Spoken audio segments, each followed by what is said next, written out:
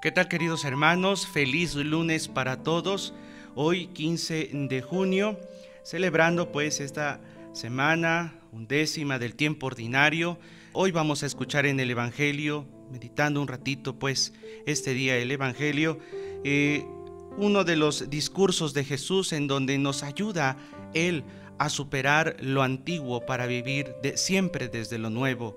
Y en el Evangelio que hoy escuchamos, en la liturgia de hoy, nos ayuda el Señor a superar la, la ley que a veces podríamos decir que pesa, ley que a veces debemos de observar, pero yo quisiera que este día meditaras un momentito qué es la ley.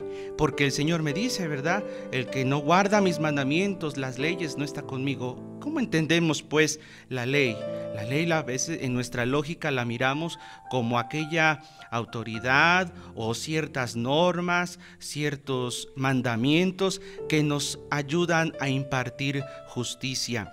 Pero, queridos hermanos, Jesús nos ayuda a superar el moralismo y vivir la ley por la ley. Jesús nos ayuda a superar esta situación. ¿Y cómo nos ayuda a superar, pues a veces, esta mirada de la ley o de los preceptos? Nos ayuda a vencerlo con una mirada de amor. Jesús ha indicado, aman sus enemigos. Jesús nos ha dicho que verdaderamente aquel que quiera seguirlo debe de dar amor. Aquel que se dispone a seguir a Jesús y a confiar en su palabra, siempre va a dar amor siempre va a dar amor, siempre se va a esforzar desde el amor. Aquí podemos entender entonces la justicia no como una lógica humana, que es dar a cada quien lo que le corresponde, o como una simple transacción. Yo doy, yo pago, yo recibo. Lo que Jesús nos invita a vivir en la ley es ajustarnos. Su justicia es divina y para nosotros vivir su justicia es ajustarnos al plan de Dios, ajustarnos a su voluntad. ¿Y por qué me tengo que ajustar a su voluntad? Porque Él me ama, Él me ha amado primero y quiere que viva desde la verdad, desde la libertad y desde el amor. Eso es lo que va a insistir Jesús en estos días. Es lo que hoy Jesús nos insiste. Que el Espíritu Santo pues nos ayude a superar la ley de la transacción y ser generosos.